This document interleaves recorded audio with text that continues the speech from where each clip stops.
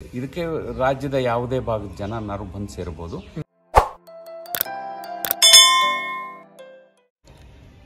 ನಾವು ನಮ್ಮ ತಾಲೂಕಿನ ರೈತರನ್ನೇ ಸೇರಿಸ್ಕೊಂಡು ಒಂದು ಇಪ್ಪತ್ತೈದು ಜನ ರೈತರದ್ದು ಗುಂಪು ಮಾಡಿ ಅದಕ್ಕೊಂದು ಕಾಯಕ ಬಳಗ ಅಂತೇಳಿ ಹೆಸರು ಕೊಟ್ಟಿದ್ದೀವಿ. ಆ ಕಾಯಕ ಬಳಗದ ಸಭೆನ ಪ್ರತಿ ತಿಂಗಳು ಒಬ್ಬೊಬ್ಬರು ತೋಟದಲ್ಲಿ ಸಭೆ ಸೇರ್ತೀವಿ. ನಾವು ಒಂದು ಹತ್ತುವರೆ ಹನ್ನೊಂದು ಗಂಟೆ ವರ್ಷತ್ತಿಗೆ ಅವ್ರ ತೋಟಕ್ಕೆ ಹೋಗಿ ಅವ್ರ ತೋಟ ವೀಕ್ಷಣೆ ಮಾಡೋಂಥದ್ದು ವೀಕ್ಷಣೆ ಮಾಡಿ ಅವ್ರು ಮಾಡಿರೋಂಥದ್ದು ನಾವು ಕಲಿಯೋಂಥದ್ದು, ಅವ್ರು ಮಾಡಬೇಕಾಗಿರೋದನ್ನ ನಾವು ತಿಳಿಸಿ ಹೇಳೋಂಥದ್ದು.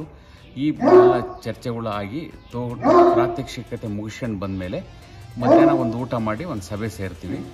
ಸಭೆ ಸೇರಿ ನಾನು ಒಂದು ಅರ್ಧ ಗಂಟೆ ಒಂದೊಂದು ಸಬ್ಜೆಕ್ಟ್ ಮೇಲೆ ನೀರಿನ ಸಂರಕ್ಷಣೆ ಬಗ್ಗೆ ಅಥವಾ ಮಣ್ಣಿನ ಸಂರಕ್ಷಣೆ ಬಗ್ಗೆ ಅಥವಾ ಕೀಟ ಸಂರಕ್ಷಣೆ ಬಗ್ಗೆ, ನಿರ್ಮೂಲನೆ ಬಗ್ಗೆ, ನ್ಯಾಚುರಲ್ ಆಗಿ ಏನೇನು ಮಾಡ್ಕೋಬೋದು ಅನ್ನೋದ್ರ ಬಗ್ಗೆ ಪ್ರತಿ ತಿಂಗಳು ಒಂದೊಂದು ಸಬ್ಜೆಕ್ಟ್ ಮೇಲೆ ನಾನು ಮಾತಾಡ್ತೀನಿ. ಆಮೇಲೆ ಪ್ರತಿ ಅವತ್ತು ಸಭೆ ಸೇರಿದಂಥ ಎಲ್ಲರೂ ಒಂದು ಹತ್ತು ನಿಮಿಷ ಏನಾದ್ರು ಮಾತಾಡಬೇಕು ಅಂತ ಒಂದು ನಿಬಂಧನೆ ಇದೆ. ಹಾಗಾಗಿ ಅವರೆಲ್ಲರೂ ಅವರವ್ರ ಅಭಿಪ್ರಾಯನ ಹಂಚ್ಕೊಳ್ಳೋದಕ್ಕೆ ಅವಕಾಶ ಇದೆ. ಅದೆಲ್ಲ ಆದಮೇಲೆ ಒಂದು ಕಾಫಿ ಕುಡಿದು ಎಲ್ಲರೂ ಡಿಸ್ಪೋಸ್ ಆಗ್ತೀವಿ. ಇದು ಒಂದು ಕಾಯಕ ಬಳಗ ಅಂತೇಳಿ ಪ್ರತಿ ತಿಂಗಳು ಮೊದಲನೇ ಬುಧವಾರ. ಇದಕ್ಕೆ ಹೆಂಗ್ ಸೇರ್ಬೋದು ಸರ್ ಯಾರು? ಸೇರ್ಬೋದು? ಇಲ್ಲ ನಾವು ನಮ್ಮ ಸಂಘಕ್ಕೆ ಕಾಯಕ ಬಳಗಕ್ಕೆ ಅವರು ಮೆಂಬರ್ ಆಗಿರ್ಬೇಕು. ಇದ್ರಲ್ಲಿ ಮೆಂಬರ್ಶಿಪ್ ಏನಿಲ್ಲ. ಇದಕ್ಕೆ ಅಧ್ಯಕ್ಷರು ಖಜಾಂಚಿ ಕಾರ್ಯದರ್ಶಿ ಯಾರು ಇಲ್ಲ. ಎಲ್ಲ ಎಲ್ಲರೂ ಸದಸ್ಯರೇ. ಹಾಗಾಗಿ ಅದು ಮೆಂಬರ್ ಆದ್ರೆ ಅದು ಮಲ್ನಾಡಿನ ತಾಲೂಕಿನ ಮಲ್ನಾಡಿನ ಭಾಗದ ರೈತರು ಮಾತ್ರ ತಗೊಂಡಿದ್ದೀವಿ. ಯಾಕೆಂದ್ರೆ ಒಂದು ಪ್ರಾದೇಶಿಕವಾರು ಒಂದೊಂದು ಬೆಳೆ ಬಗ್ಗೆ ಅವ್ರಿಗೆ ಸಂಕ್ಷಿಪ್ತವಾಗಿ ಮತ್ತು ಸುಲಭವಾಗಿ ಅವ್ರಿಗೆ ವಿಚಾರ ತಿಳಿಸ್ಬೋದು ಅನ್ನೋ ಕಾರಣಕ್ಕಾಗಿ ಈ ಭಾಗದ ಜನರನ್ನೇ ತಗೊಂಡ್ರಂಥದ್ದು ಒಂದು ಭಾಗ ಮಾಡ್ಕೊಂಡಿದ್ದೀವಿ ಇದು ಒಂದು.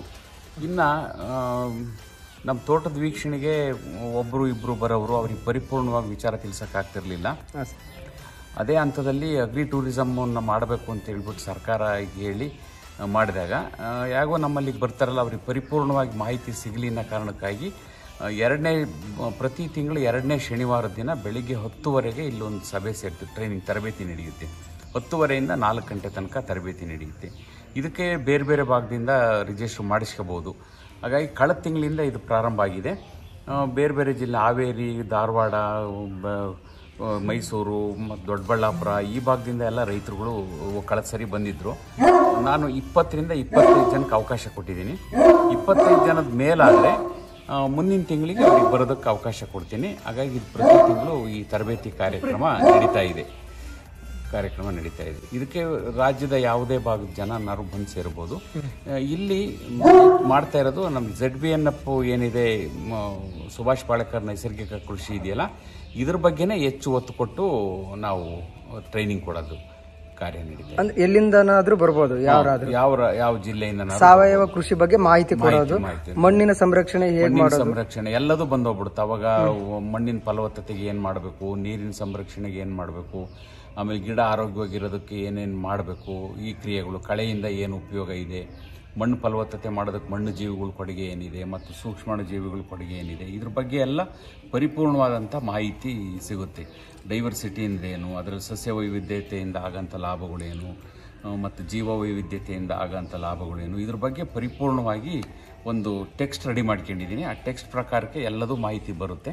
ಆ ಮಾಹಿತಿನ ಕೊಡ್ತೀನಿ. ಕೊಟ್ಟಾದಮೇಲೆ ಪ್ರಶ್ನೋತ್ತರ ಒಂದು ಕಾಲು ಗಂಟೆ ಇರುತ್ತೆ. ಯಾರಿಗ್ಯಾರಿಗೆ ಅನುಮಾನ ಇದೆ ಅಂಥವ್ರು ಏನೇನು ಕೇಳಬೇಕು ಅಂತಿದ್ದಾರೆ ಮತ್ತು ಅವ್ರ ತೋಟದಲ್ಲಿ ಮಾಡ್ಕೊಂಡು ಫೇಲ್ ಆಗಿದ್ದರೆ ಅಥವಾ ಸಕ್ಸಸ್ ಆಗಿದ್ದರೆ ಅದ್ರ ಬಗ್ಗೆ ಆ ರೈತರುಗಳು ಮಾತಾಡೋಕ್ಕೆ ಅವಕಾಶ ಇದೆ. ಮಾತಾಡಾದ್ಮೇಲೆ ಸಂಜೆಗೆ ಒಂದು ಕಾಫಿ ಕುಡಿದು ಎಲ್ಲರೂ ಅವ್ರವ್ರ ಜಾಗಕ್ಕೆ ವಾಪಸ್ ಹೋಗ್ತಾರೆ ಅಂದರೆ ಇದಕ್ಕೆ ಬರೋಕ್ಕೆ ಸರ್ ಈಗ ಇಲ್ಲಿಗೆ ಬರೋಕ್ಕೆ ಅದನ್ನು ಒಂದು ಮಾಹಿತಿ ಹೇಳಿ ಸರ್. ನಾನು ಕಾಲ್ ಮಾಡ್ತೀನಿ. ಆ ಪ್ರತಿ ತಿಂಗಳು ಕಾಲ್ ಮಾಡಿದಾಗ ನಮ್ಮ ಫೋನ್ ನಂಬರ್ ಕೊಟ್ಟಿರ್ತೀನಿ. ಆ ಫೋನ್ ನಂಬರ್ಗೆ ರಿಜಿಸ್ಟರ್ ಆಗಬೇಕು. ರಿಜಿಸ್ಟರ್ ಆದ್ಮೇಲೆ ಅವರು ಕಾಯಿ ಖಾತ್ರಿ ಆದ್ರೆ ನಮಗೆ ಊಟದ ವ್ಯವಸ್ಥೆಗೆ ಅದಕ್ಕೆಲ್ಲ ಅವರಿಗೆ ಮಾಡಿಕೊಡೋದಕ್ಕೆ ಅನುಕೂಲ ಆಗುತ್ತೆ. ಮಿನಿಮಮ್ ಇಪ್ಪತ್ತರಿಂದ ಇಪ್ಪತ್ತೈದು ಜನದ ಒಳಗಡೆಗೆ ಸೇರಕ್ಕೆ ಅವಕಾಶ ಇದೆ. ಆಮೇಲೆ ಆಸಕ್ತರು ಹೆಚ್ಚಿಗಾದ್ರು ಅಂತಂದ್ರೆ ಮುಂದಿನ ತಿಂಗಳಿಗೆ ಅವರಿಗೆ ಅವಕಾಶ ಕೊಡ್ತೀವಿ ಪ್ರತಿ ತಿಂಗಳು ಎರಡನೇ ಬಾನು ಎರಡನೇ ಶನಿವಾರ ಎರಡನೇ ಶನಿವಾರ. ಎರಡನೇ ಶನಿವಾರ ಹತ್ತುವರೆಯಿಂದ ನಾಲ್ಕು ಗಂಟೆ ತನಕ ತರಬೇತಿ.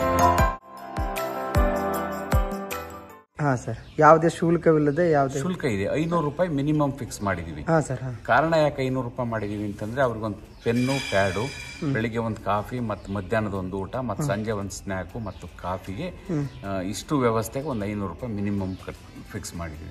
ಆಮೇಲೆ ಇದನ್ನು ಐನೂರು ರೂಪಾಯಿ ಯಾಕೆ ಫಿಕ್ಸ್ ಮಾಡಿದ್ವು ಅಂತಂದ್ರೆ ಒಂದು ಅದಕ್ಕೊಂದು ಯಾವ್ದಾರ ಒಂದು ಮೌಲ್ಯ ಬರಬೇಕು ಅಂತಂದ್ರೆ ಅದಕ್ಕೊಂದು ಬೆಲೆ ಕಟ್ಟಿದ್ರೆ ಮಾತ್ರ ಆಸಕ್ತಿ ಮತ್ತು ಅದು ಆಸಕ್ತರು ಮಾತ್ರ ಬರ್ತಾರೆ ಅನ್ನೋ ಒಂದು ಕಾರಣ. ಹಾಗಾಗಿ ಅದಕ್ಕೊಂದು ಮೌಲ್ಯ ಇತ್ತು ಅಂತಂದ್ರೆ ಅವ್ರು ತಗೊಂಡೋಗಂಥ ಮಾಹಿತಿಗೂ ಮೌಲ್ಯ ಬರುತ್ತೆ ಅಂತೇಳಿ ಹೇಳಿ ಈ ಬೆಲೆನ ಫಿಕ್ಸ್ ಮಾಡಿದ್ದೀವಿ ಸರ್